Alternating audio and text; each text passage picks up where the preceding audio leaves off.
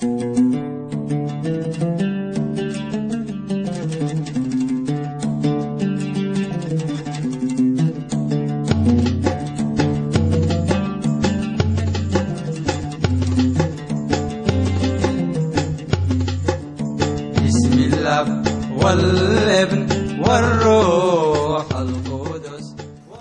and welcome to Engaging with Islam. Today's topic is the Son of God and the Trinity.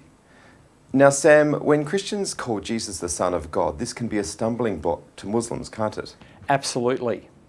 Why is that? It's because in the Quran, to say that Jesus is the Son of God is the worst sin you can commit. And in Surah 9, verse 29, it actually says that Christians are to be conquered and subjugated by Muslims if they say Jesus is the Son of God.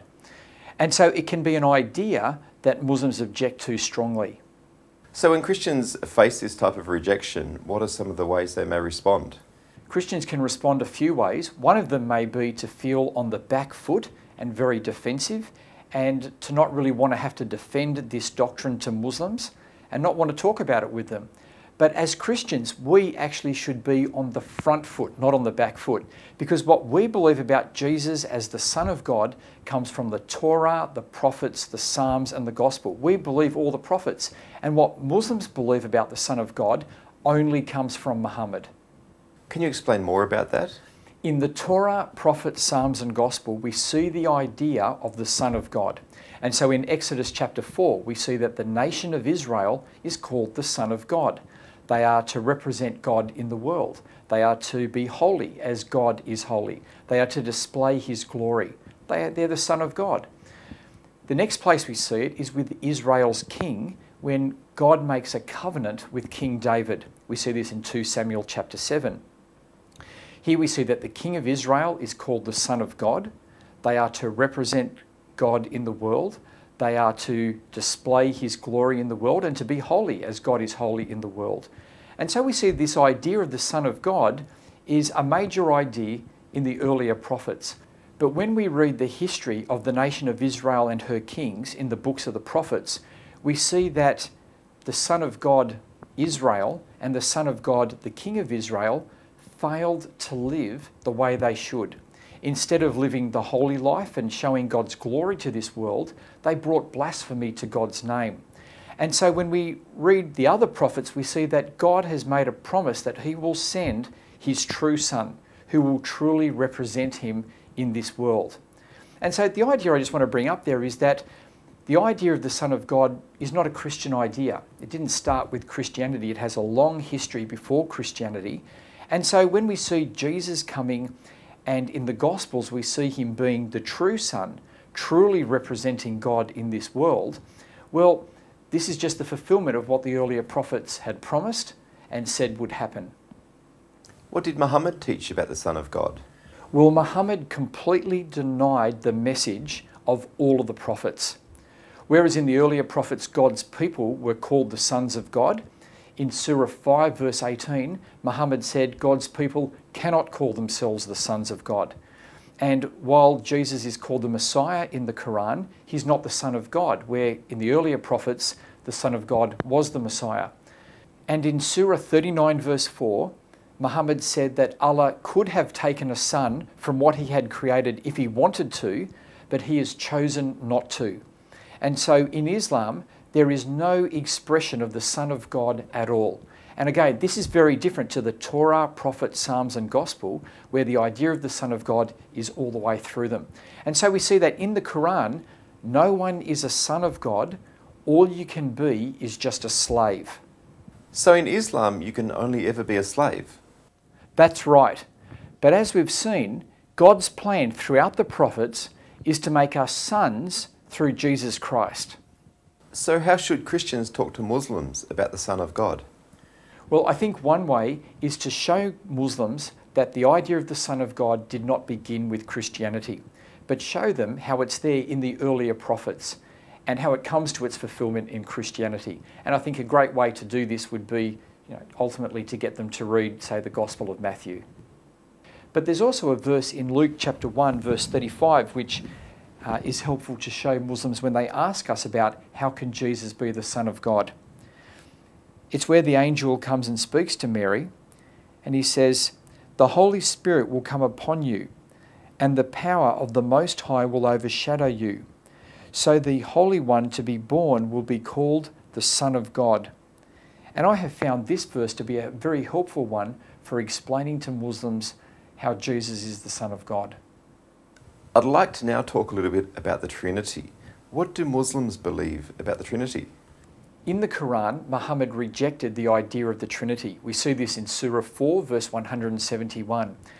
And also in the Quran and in Islam in general, God is never called Father. It's not one of the names of God. And as we've seen, there is no Son of God. So when there's no Father and no Son, there's no Trinity. And so it's normally an idea that when Muslims hear it, they reject it. Should Christians be embarrassed by the Trinity?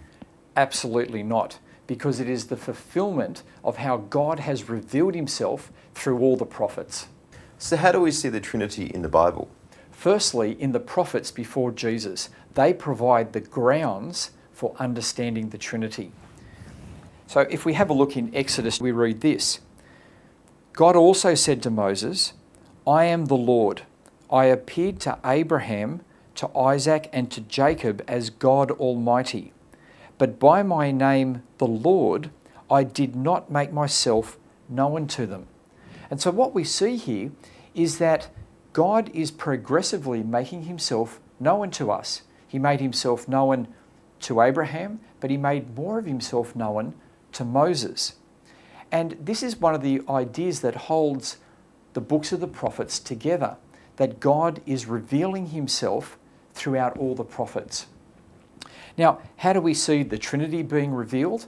Well, I think first of all we see it in the creation account, where we see God, His Spirit, and His Word bringing creation into being. We see those three responsible for creation.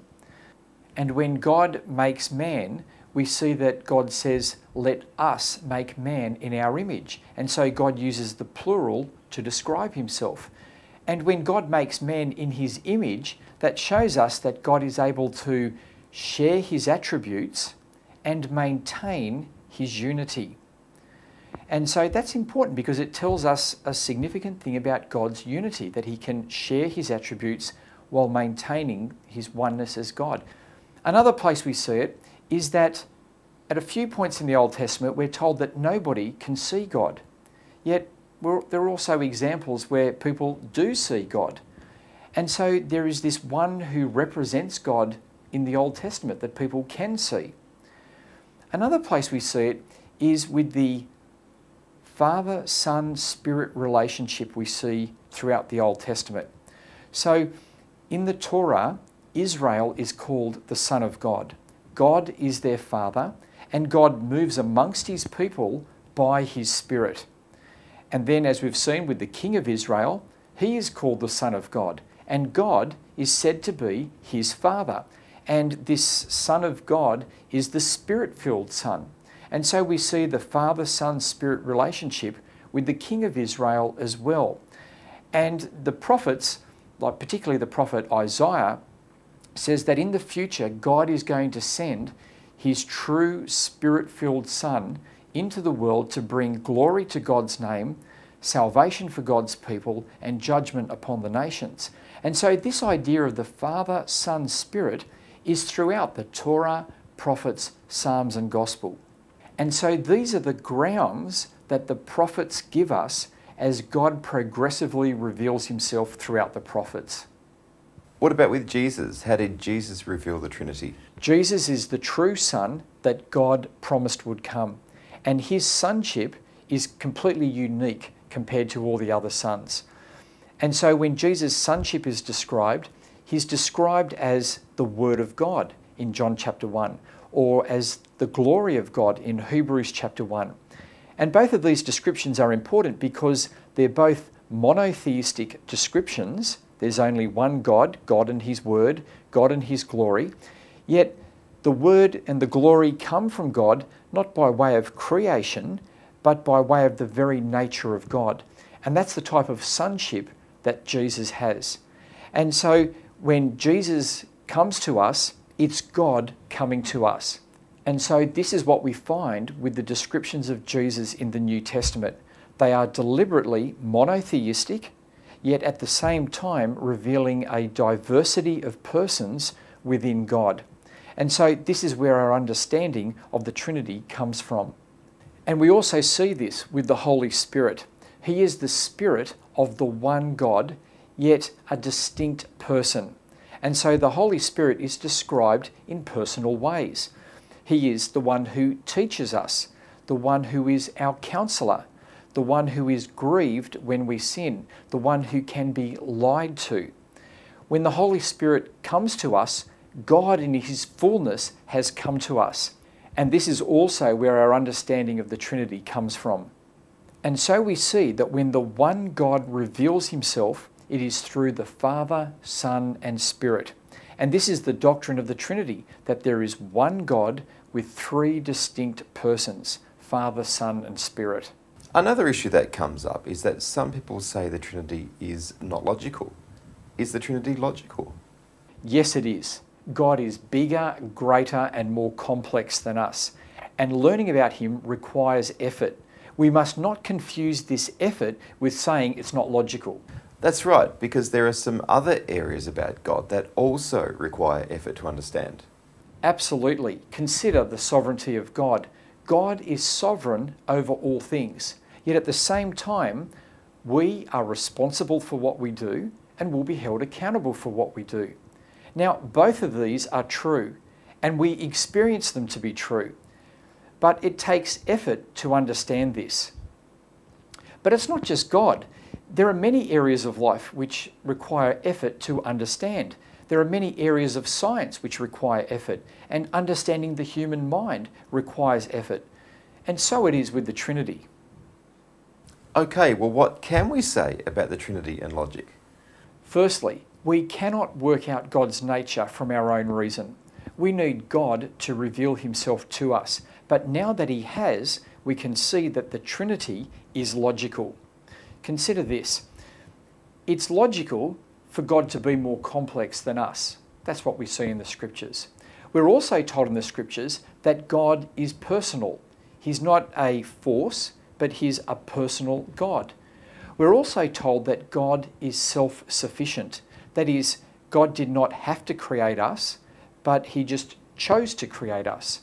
Now, I think if you put these three ideas together that God is more complex than us, that God is relational and self sufficient, we can see that the Trinity is very logical. Because if God truly is self sufficient and He is relational, then His relational aspects must be met within Himself. Otherwise, He's not self sufficient. He depends upon us to have any expression of His personal attributes. And so the Trinity makes sense of a relational, self sufficient God. We see this when we say God is love. We're not just saying that God started to love when He created us or that He had the potential to love, but we're saying that from all eternity, God has existed in a loving relationship within Himself. God is love, and ultimate reality is a living and active God, not just a God of potential.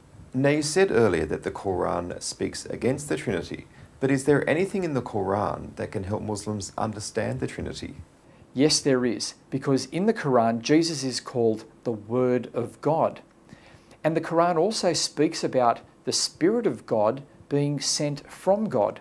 And so there are some elements within the Quran that we can use to help explain the Trinity to Muslims. Now, others have developed a simple diagram for doing this. And if you have a look in your notes, you'll see there's God, and the circle represents creation, the world. And what you can do with your Muslim friend is say, where does the Word of God come from? Does the Word of God come from God, or does it come from the world? And you can say, well, it comes from God. And you can draw an arrow representing the Word into the world. And what about the Spirit of God? Where does the Spirit of God come from? Does it come from the world or does it come from God? Well, he comes from God. And so you can draw an arrow into the world again representing the Spirit. And so you can show them how there is this relationship of God, His Word, and His Spirit, yet only one God. There are limits to this, but it can be a helpful place to start. Okay, I'd like to finish up with some commonly asked questions. If Jesus was God, how can Jesus pray to God? As we saw in the last session, Jesus lives a fully human life. And so he's born, he grows, he learns, and he also prays. This is part of his humanity to be the true man praying to God. But it's also a reflection of this relationship between the Father and the Son in the Trinity. And so we understand both of these things when we see Jesus praying. But surely 1 plus 1 plus 1 equals 3. Yes, Muslims have said that to me on many occasions. 1 plus 1 plus 1 equals 3. And we agree with that. There are three persons there's the Father, the Son, and the Spirit. But if you want to use maths to talk about God, and I'm not recommending we should, but if you want to, then why use the number 1?